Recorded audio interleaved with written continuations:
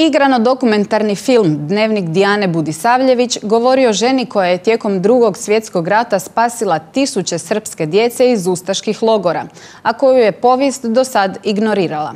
Film će u Pulskoj areni večeras doživjeti svoju premijeru. Vi ste pravoslavka. Austrijanka, katolkinja.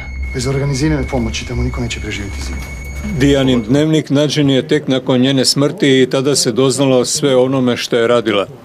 Naime, s nekolicinom prijatelja pokrenula je riskantnu akciju kojom je iz logora NDH spasila više od 10.000 djece.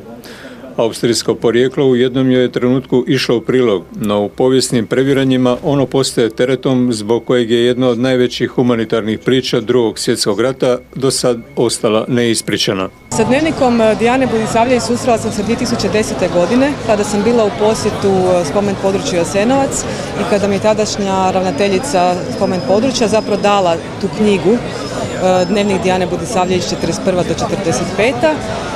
Pitavši me kao da li smo mi nešto o rodu, jer Dijanu i mene zapravo jedno slovo dijeli razlika u imenu. I ja sam bila fascinirana i rekla sam ne, nisam nikad čula za tu gospođu što je ona učinila. I, ovaj, I ona mi je rekla, ali ona je spasila preko tisuće i tisuće srpske djece iz logora NDH. Ja sam rekla, stvarno ne znam, pročitat ću dnevnik.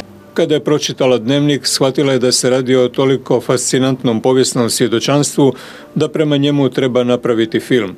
Danas, devet godina kasnije, željno iščekuje premijeru u areni. Mislim da smo stvorili neku lijepu atmosferu iščekivanja koja ide mimo ovih naših dnevno-političkih podjela, stalnih svađa, Ustaša Partizana 41. 91. 45. A to nam je zapravo bilo i užasno važno, znači da se maknemo od dnevne politike zato što je Dijana nešto novo. Ona je jedan pogled prema građanskoj klasi, prema nečem što se mi možda danas i lakše identificiramo.